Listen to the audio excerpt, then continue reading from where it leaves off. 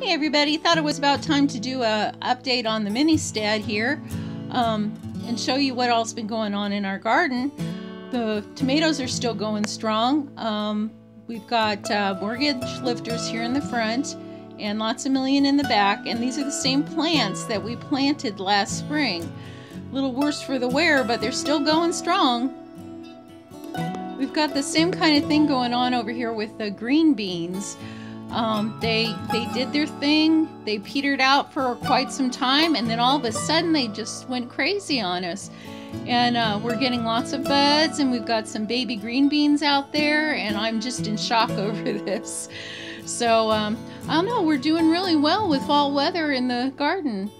The baby chickens got big enough, so we decided to move them out to the garden. Since we moved them out here, we decided that we would grow a few things in pots on our back deck. I'm so glad we chose to raise a couple more ducks. When the older chickens started molting and laying less, the ducks started laying, and so we started getting two eggs a day. Now, this will be nice to fill the gaps until the younger ones start laying. Here we are in the bee yard. Um, the bees are still going at it. Um, they're slower on these cold mornings, but they're still doing their thing. These are my comfrey plants. Um, this has been a wonderful supplement for the chickens and the ducks. They just go crazy whenever I bring it out. Um, when I cut it back, it just keeps coming back again and again. This is the Swiss chard that I have growing on the back deck. It's been wonderful to go out in the morning and pick a few leaves to cook with my eggs in the morning.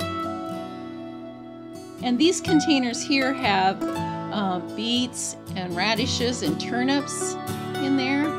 Um, the one big plant over here is called pineapple sage and um, I've been using that in the oil for cooking pork or for cooking my eggs.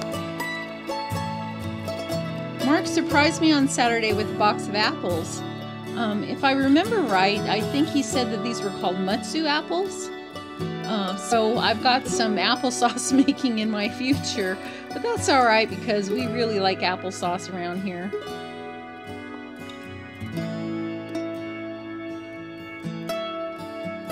Thank you so much for visiting, and I hope you have a wonderful rest of your day.